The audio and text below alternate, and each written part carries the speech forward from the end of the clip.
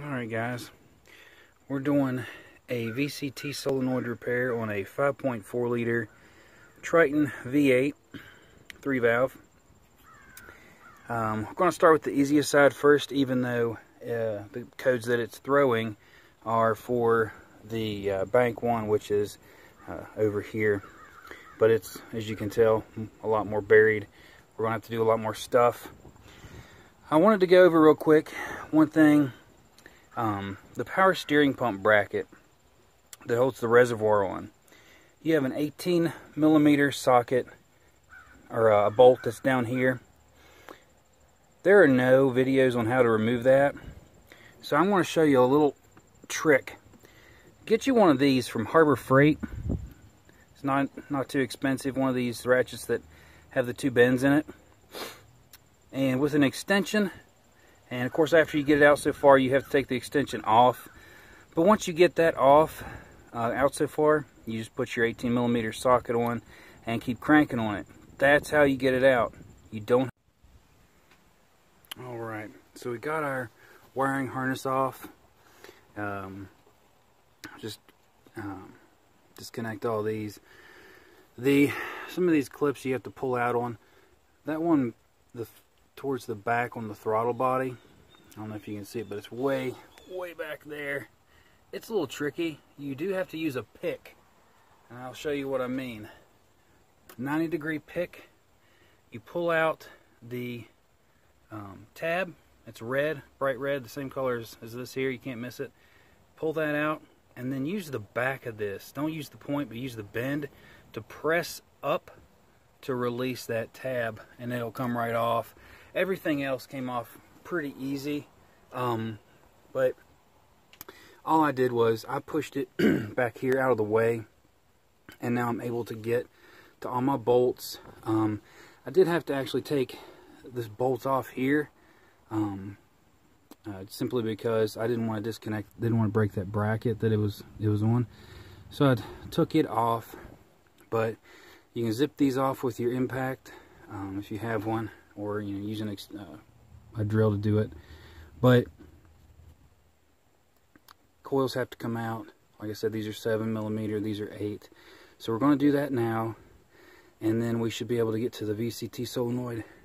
There is an eight millimeter like this right here in the back, and that's going to be difficult. And um, I may have to use a uh, flex head uh, ratchet on that, uh, ratchet wrench but I'll, I'll let you know.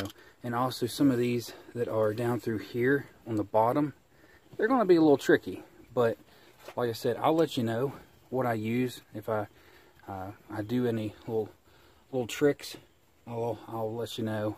And uh, when we get this off, we'll see how this VCT solenoid screen looks. I anticipate it being pretty bad because there's a lot of varnish and oil on uh, when I took the PCV hose off here. So we'll find out though. So as you can see, we have everything uh, pretty much apart now. It is going to be a job to finagle this out. Um, I've been trying for about five minutes and it's like the worst game of Tetris ever but uh, we'll get it done. It does look pretty rough in there, as you can kind of tell. It'll come into focus.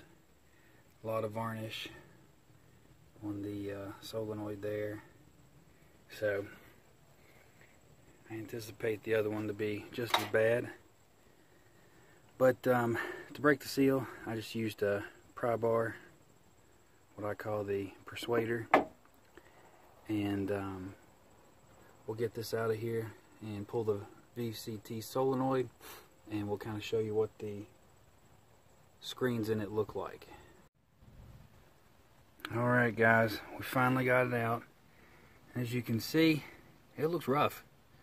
Uh, this truck has, has uh, not been treated well and they said they ran high mileage oil, Castrol GTX high mileage oil um,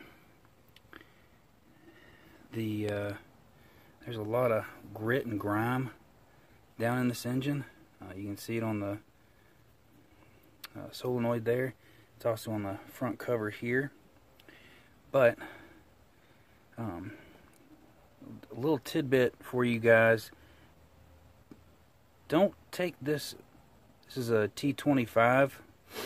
Don't take that out without putting a rag here. Okay? If this goes into the front cover, you're done. You're going to have to take the front engine off or go fishing. So, um, it does have a retainer, but you know, don't trust that retainer. Um, so we can pull this out here, and you can see it's missing a lot of screens. It doesn't look good. Um, so even though this wasn't the one that was throwing the code, yeah, it definitely needed replaced. Alright, we're getting ready to go back together here. We got our new VCT solenoid installed. Um, I just wanted to go over something real quick. That right there, where the front cover meets the head of the engine, you're going to have to put some uh, high temp Permatex there. And what I'm planning to do is actually slide the uh, valve cover in, line up the bolts, lift, and then put the Permatex there. Now we've already got our uh, new gasket installed and it came with new rubber grommets but I mean these still have some uh, texture to them they're not rigid so I'm not going to bother with that. But check out this cover. I mean look at that. Look at this gunk. I mean that is uh, that's rough stuff right there so I am going to try to clean this out a little bit, uh, best I can, and before I put that back on. But yeah, you'll also need you know to put it the the Permatex down here as well, just so so you know. I've already scraped up here. I just didn't want anything to fall into the engine. So what I, I'll do is I'll also put the rag here and scrape down there, and then put new Permatex.